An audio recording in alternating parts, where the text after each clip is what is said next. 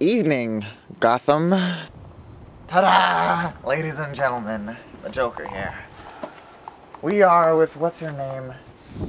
Fuck you. Uh, Michael.